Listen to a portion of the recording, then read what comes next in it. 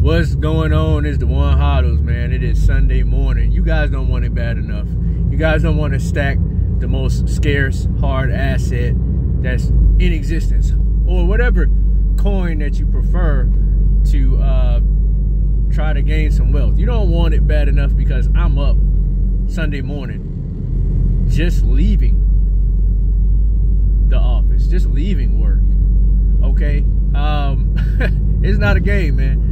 So uh, if you're stacking sats and you're doing it like me, um, which is the smallest unit of Bitcoin, do it responsibly. Uh, you want to do it with a peer-to-peer decentralized exchange such as HODL HODL. Um, that exchange only requires a username or actually an email address and a password, and you're able to trade Bitcoin without KYC. And this is the way to go to be free. Also, you want to think of a Coldcard wallet, like a cold storage wallet, where you could put your Bitcoin into self-custody. And uh, the hard wallet, to me, is the probably the most safest means of um, custodying your Bitcoin. So, and there's one that's Bitcoin only, open source. That is um, the Coldcard wallet, and so that's in the CoinKite.com store as well. So I'm I'm just driving through the city right now. It is a cold one today, man. So. Um, very cold. So today the weather just shifted.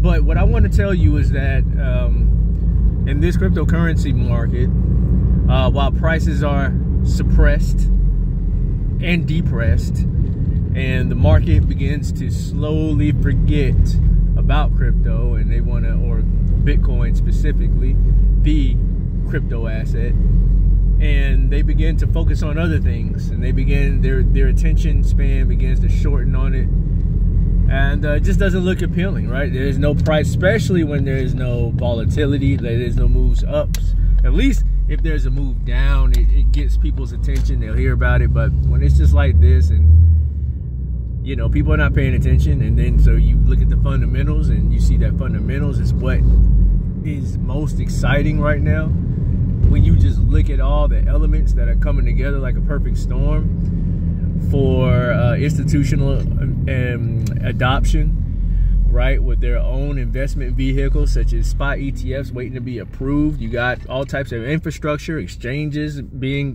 being built. You have um, the case, the use case for Bitcoin strengthening, only strengthening in a world with global economic chaos central banks around the world are screwing up and disrupting their whole entire countries. Uh, inflation persists. Interest rates still getting held up, squeezing people um, with, or squeezing nations with uh, huge debt loads that are that'll make it less likely to be uh, repaid. And so this makes the fiat or makes those uh, those assets that fiat attached to more worthless, seeing that these uh, nothing can be paid back with high interest rates and massive debt. So this is the perfect storm all the way around, uh, in my opinion, for Bitcoin, uh, the sovereign man's money.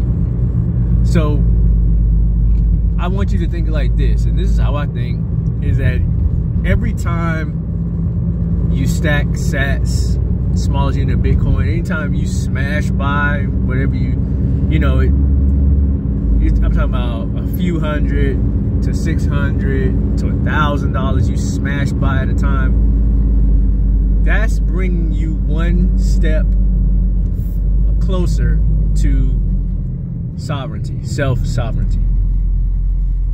That's bringing you one step closer. That's bringing you that's that's taking you one step further away from fiat slavery from dealing with people you don't want to deal with from living your life on someone else's terms. This is free man's money and it acts as a store of value as well. This is a, this is an asset class of its own. So you hear a lot of people say well, you guys say Bitcoiners say Bitcoin is money, but now you're saying it's a store of value. Which one is it? Well, so I think it's disingenuous because then they'll, at the same time, in the same breath, acknowledge that cryptocurrency is just a whole new asset class that can't be put into a box like a IE shitcoin, XRP, and all this. So that you know they'll say, "Oh, it's not a security," when clearly it acts, and it is security for a company called Ripple. But anyways, I digress. But you you know when it comes to Bitcoin, it's legitimately a store of value, finite, scarce supply, and it is a monetary network with the capability of instant payments on its second layer, the Lightning Network. Anyways, guys, I'm gonna keep this short. I just wanted to share this with you. The more you stack, the more you get closer to a life of um, self-sovereignty because that's what the network is. It's a self-sovereign network. It's a self-sustaining network. It is a living almost organism, like a fungus, right?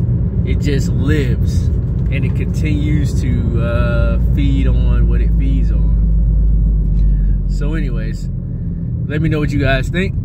It is Sunday morning. I hope you're enjoying yourselves. I hope you're acting responsibly during these times where the people are turning their back on on this new asset class and um, and on the entire market because they don't understand what it is yet, and they probably never will until they're completely, completely. I mean, I'm talking about exceedingly priced out. Till next time.